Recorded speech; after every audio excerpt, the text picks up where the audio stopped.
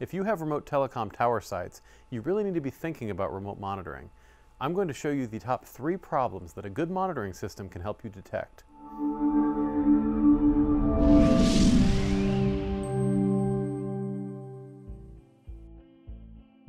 Hi, I'm Andrew from DPS and welcome back.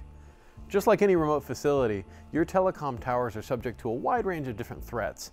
In my years in the industry, I've seen a lot of really interesting and rare and kind of unbelievable problems, but also many that happen again and again and again. And that's really where you should focus your attention as you do your planning. So let's start looking at those. Let's look at the first one, physical security.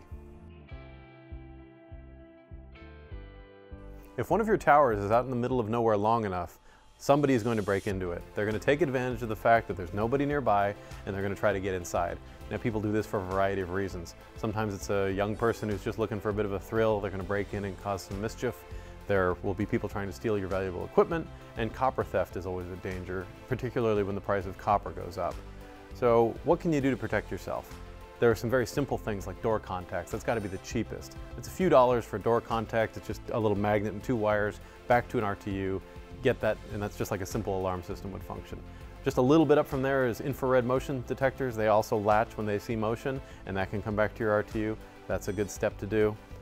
You can wire either copper or fiber optic around different pieces of equipment, kind of like a bicycle lock would be, and you can get a detection if that gets cut or otherwise removed. So that can be a nice way to monitor valuable pieces of equipment. And ultimately, the other remote monitoring I'm going to be talking about in this video helps you paint a picture of what's going on at the site. And that can help you understand when you have a security problem and help you tell the difference between I need a repair technician versus I first need security or police because this is a security issue. So now let's take a look at our second thing that you can monitor out at your remote telecom towers, environmental levels. So now that we've tackled the problems associated with unauthorized physical intruders into your site, let's take a look at other things that can go on in the physical environment at your tower site. The most common environmental level that you'll want to monitor at most sites has got to be temperature. If it gets too high, you're going to see thermal shutdowns and then eventually equipment damage. That gets very expensive very quickly. You want to avoid that. If you're in a cold climate, it's also important to note that temperatures below freezing start to cause other problems. So you want to have a temperature sensor that knows exactly what temperature it is, plus or minus a degree or two, and then an RTU that lets you set a too high threshold and a too low threshold so you can get an alert when those things happen. Right behind temperature is humidity. And as you know, condensation will build up when humidity gets too high, and that's a big issue. But there's a lesser known one as well. If you happen to have a very, very dry environment, as the humidity gets very low, you can start to see static buildup and discharge, and that can cause damage. That's a big one to look for. And then as we proceed down the line, you'll get to water on the floor sensors that will just detect if there's any puddling. Your humidity was your first warning there, but a puddle tells you the problem is now even more serious. Then finally you get into leak and other type gaseous type sensors. So you have smoke detector, propane leak, hydrogen buildup, which can tell you something's wrong with your batteries. So a variety of different sensors that help you paint this picture of what's going on at your remote site. And imagine how much better it would be if you had all that information in front of you for any tower site that you were trying to figure out you know, what's going on out there. So now let's take a look at our third and final thing that you should be monitoring out at your tower sites, equipment alarms. So now that we've looked at the two types of hazards that can happen out at your tower sites regarding the physical environment, Let's take a look at alarms that your equipment will actually self-report.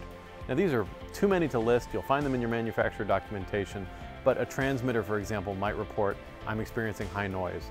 A lot of gear will say, I'm overheating. Maybe I had a hardware failure. A variety of different things and they output in different ways. Common is contact closures because it's just protocol-less. It's just the closure of a contact that your RTU will pick up with a discrete input. Sometimes you'll have Modbus protocol, something like that, that your RTU actually has to talk in a, a language to be able to communicate with the device. But all of those things, that's probably the most granular data that you're going to get because you're actually talking to equipment rather than having to monitor things with your own sensors attached to your RTU. So that is the final piece that's going to complement the physical environment is these alarms that are actually coming out of the equipment itself. So if you've made it this far into the video, it's a fair bet that you're planning some kind of remote monitoring project, and I have a tool that will help you do that. It's this remote site survey document. It's got everything I talked about in this video, plus a few other things I didn't have time to mention, and you can download your free copy at the link below. I highly advise that you use it. It's a simple one-page worksheet. There's not even a backside, It's a great tool to make sure that you don't miss anything because it's so much easier to take care of things during the planning phase of any project than it is to try to shoehorn something in later when you didn't plan around it originally. If you found this video helpful, please click the like button and subscribe to the channel so that you can see more videos like this one. Until next time, I wish you excellent network reliability.